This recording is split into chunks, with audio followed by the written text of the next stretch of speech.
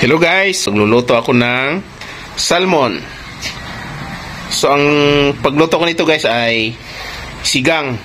So mayroon tayong kangkong at yan ang mga sangkap niya, sibuyas, kamatis, luya, tanlad at saka siling haba. So ayan guys, panoorin nyo. Sisimulan na natin. Una-una, lagyan natin ng tubig. So, kailangan natin tama ng tubig kung masyadong marami Siyempre, sisindihan na natin. Gasol. O, sunod na natin yung luya. Habang pinapakulo natin, kamatis, sibuyas, na sobrang mahal. Lagyan natin ang tanglad. Sili, mamaya pa to. Ngayon, takpan na natin. So, magantay na lang tayo na kumulo. Saka, lagay natin yung salmon. So ngayon, kumulo na. Lagay na natin ang salmon. Hey!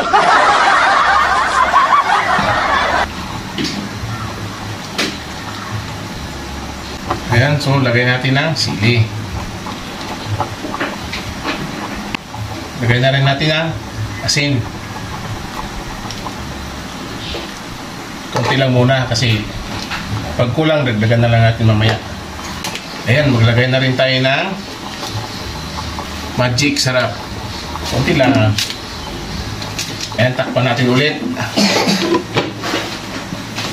One eternity later. Ngayon, lagyan na natin ng sinigang mix na sampalok ang flavor.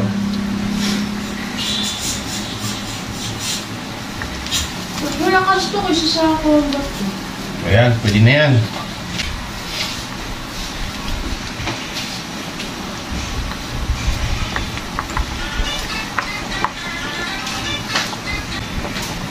Ayan, lumalabas na ang omega-3 ng salmon. Ngayon, lagay na natin ang kangkong. Ito sa kanila sa kanila. Tama na ito na naman.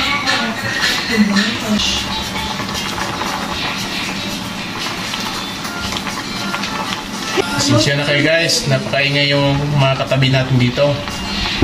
Mga nagsisilpon. Ah, huwag niyo na lang silang pansinin. Yan, takpan muna natin ulit. So ngayon guys, tikman muna natin. Medyo wow! na yung kangkong. Oh. Tikman na natin kung tama na ba yung alat niya at saka asin. Kung kulang ay dadagdagan natin. Medyo kulang na asin. Another one. Ayan, dagdagan natin konti.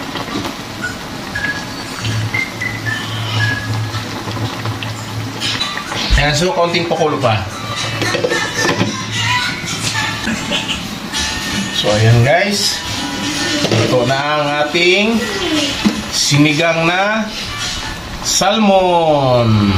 Yan, no? Yan. Ibabaw natin yung salmon. Wow!